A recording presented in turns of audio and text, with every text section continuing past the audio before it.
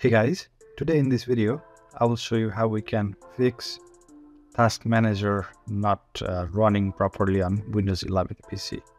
So if you see here on my computer, if I right click on my taskbar, there is no Task Manager option at all. So Task Manager is missing from my taskbar. If I try to open it from Control Shift and Escape, it's not there. And if I try to open Task Manager by searching here, you can see Task Manager has been disabled by your administrator. So let's see how we can fix this problem. First of all, we will try to uh, solve this from group policy. And for that, open run dialog with Windows and R on your keyboard and here type gp edit dot msc click ok. And here we are on group policy editor. Now here under user configuration expand administrative templates. System.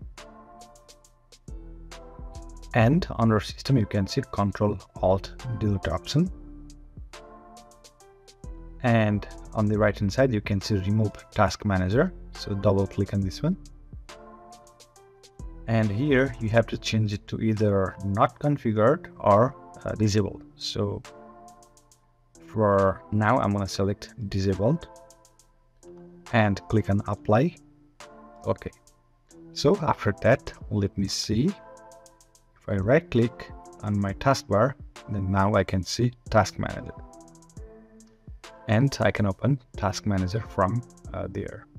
So this is how uh, we can fix if uh, the Task Manager is you know not showing on taskbar or if it's not running. I'll also show you one more uh, thing to check if Task Manager is not running properly on your computer. And that one we can check it from Registry Editor. So again, open run and here type R-E-G-E-D R-E-G-E-D-I-T click on OK. Click Yes. Now here I will have uh, this value in the description below, so you can just copy and paste that.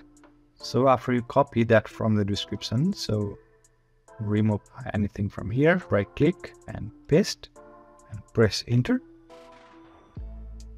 And after you are on the system folder under policies, you can see disable task manager. You can either delete this value or you can modify uh, the value data from 1 to 0 and click on OK. Now this should fix uh, if the task manager is disabled from registry editor.